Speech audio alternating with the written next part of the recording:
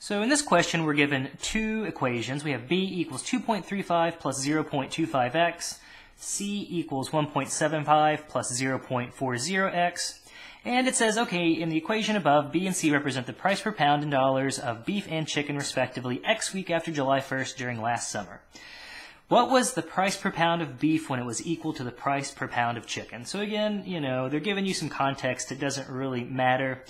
We want to know um, when when does the price of beef equal the price of chicken is what we're trying to figure out. So we're trying to figure for what value of x will the price of beef equal the price of chicken. So the idea is we're trying to figure out when does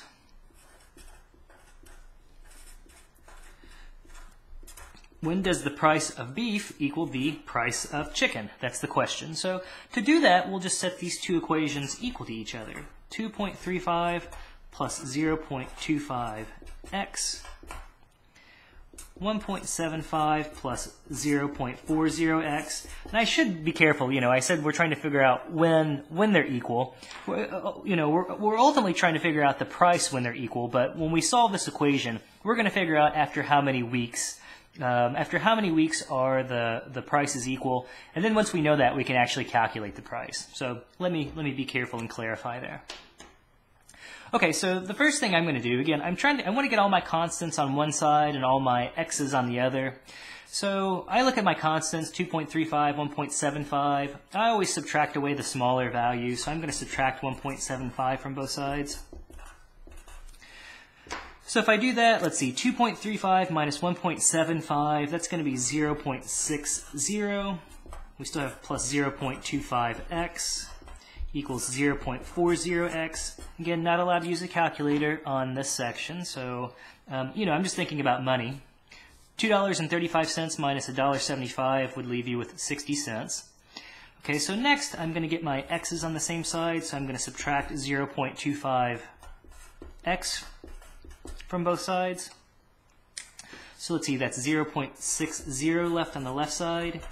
Uh, 0.40 minus 0.25. Well, 40 cents take away 25 cents would leave you with 15 cents, or I would have 0.15x. And again, to solve for x now, I'm just going to divide both sides by 0.15. Divide by 0.15. So x equals, okay, so I've got 0.60 divided by 0.15.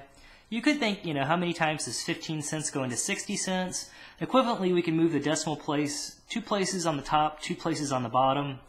That would give us 60 over 15. Maybe you can, uh, again, do the arithmetic here. If you're not sure, you can reduce. You can start simplifying. Let's see, uh, 5 goes into 60, 12 times. Uh, 5 goes into 15 um, 3 times. Well, that still simplifies further. 12 divided by 3 would give us 4. That equals x.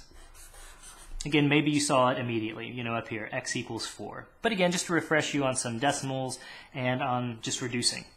Okay, so we know after four weeks the prices are equal. That's great. We still don't know the price. So again, we can use either of these two equations. I'm going to use this one just because it looks like to me the arithmetic will be a little bit easier. So now, if we use those two equations, we've got 2.35 plus 0.25 multiplied by 4. And the reason why I said it looks like it's easier was because 0.25 multiplied by 4, well, that's 4 quarters, and that's going to give me a dollar. So I've got 2.35 plus 1.00. It looks like the prices are going to be $3.35 when they are equal, which, hey, looks like answer choice D.